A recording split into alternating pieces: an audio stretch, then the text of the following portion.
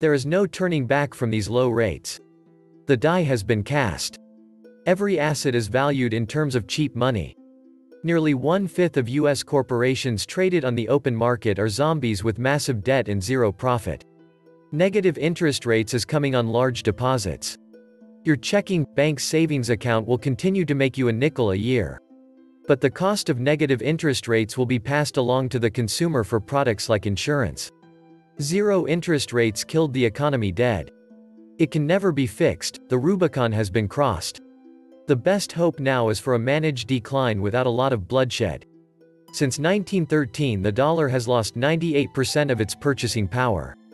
The current US dollar is worth 3 cents of a 1913 US dollar.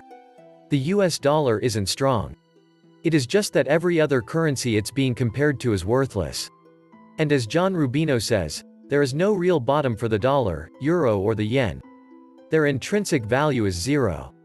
Welcome back to the Atlantis Report.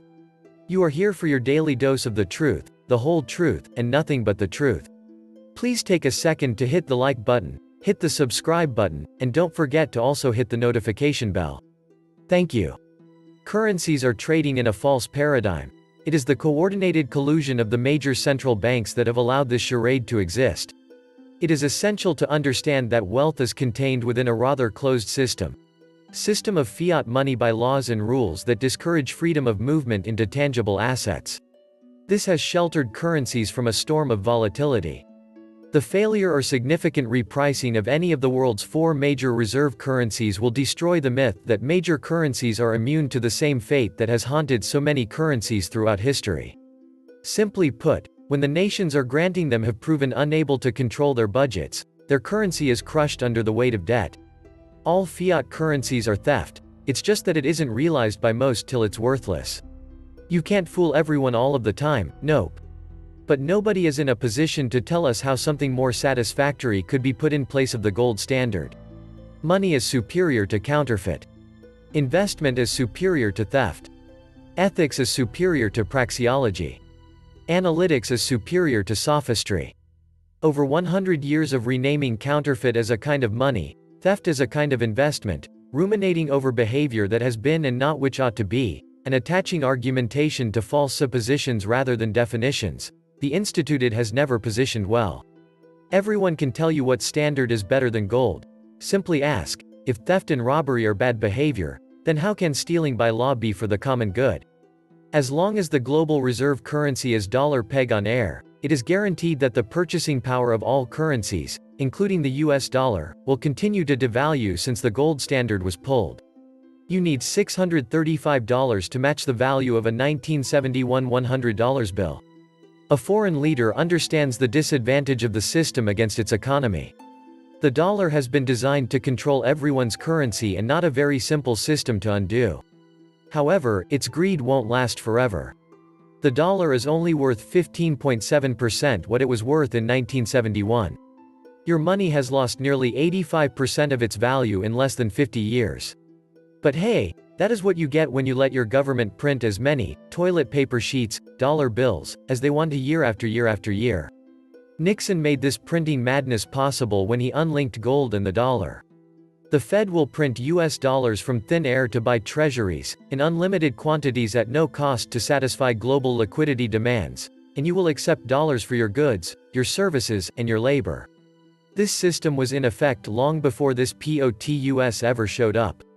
Without real, free market capitalism, we are doomed. Government interference in the economy, predatory capitalism, false economics in education, corporatism, fascism, cronyism, campaign contributions, lobbying, etc. has destroyed the real capitalism and put the final nail in America's coffin. The spread of socialism is just a symptom of America's death spiral. Gerald Celente says, capitalism ended with bailouts. In other words, they should have done bankruptcy where the strong banks survive and get the asset of the banks that did not happen because of mistakes and foolishness. That would be in line with capitalism. It also would be in line with being uncorrupt, for lack of a better word. What happened is they screwed us to save themselves for a little while, too big to fail ended capitalism.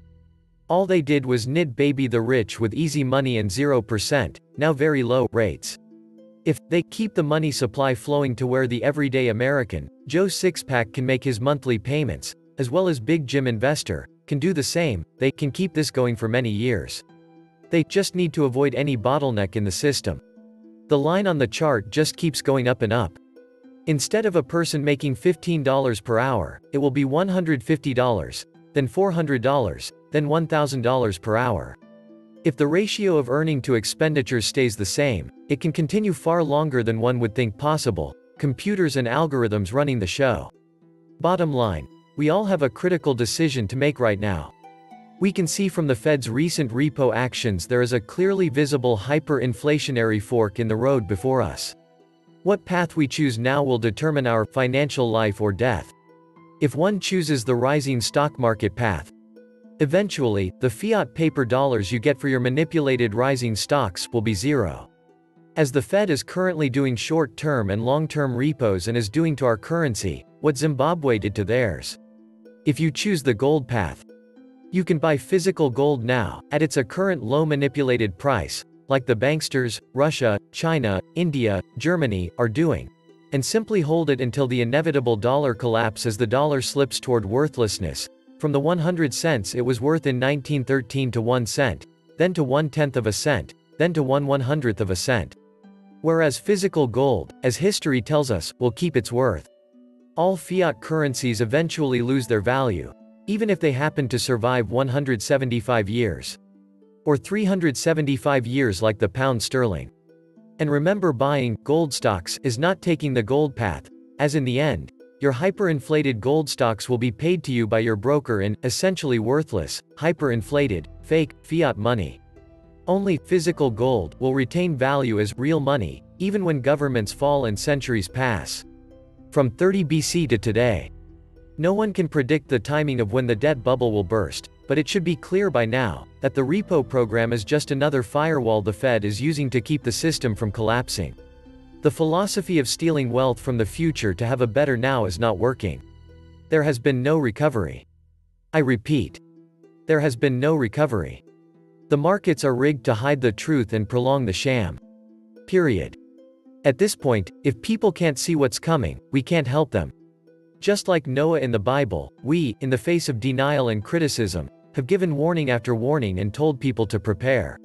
The responsibility now rests on them.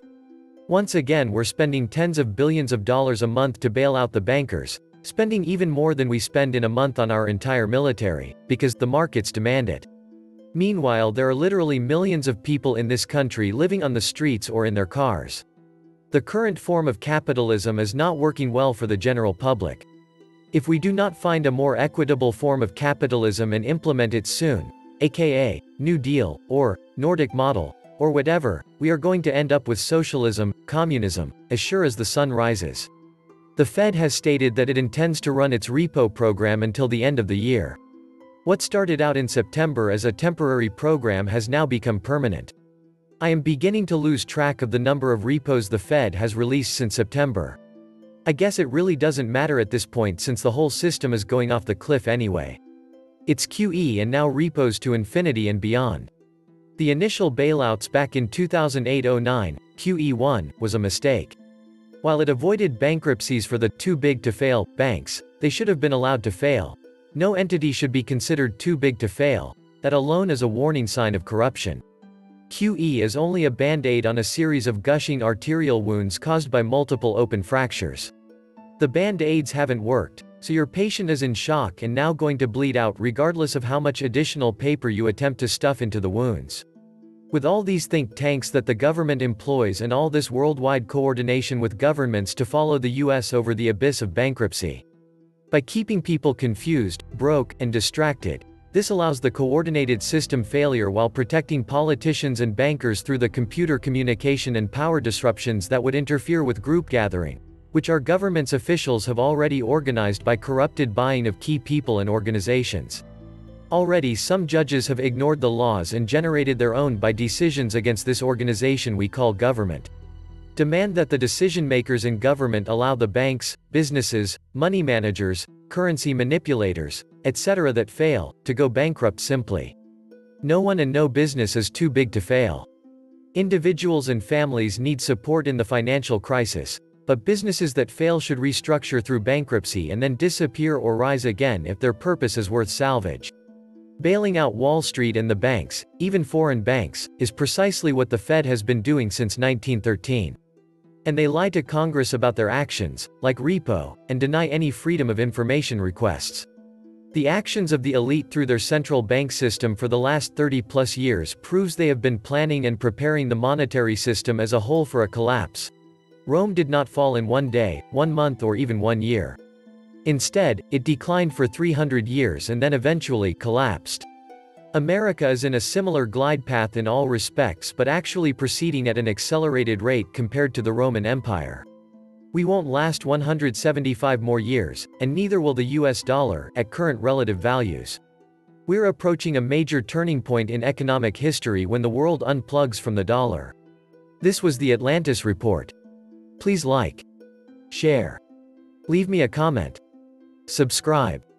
And please take some time to subscribe to my backup channels, I do upload videos there too. You'll find the links in the description box. You will also find a PayPal link if you want to make a donation. Thank you wholeheartedly to all those of you who have already donated. Stay safe and healthy friends.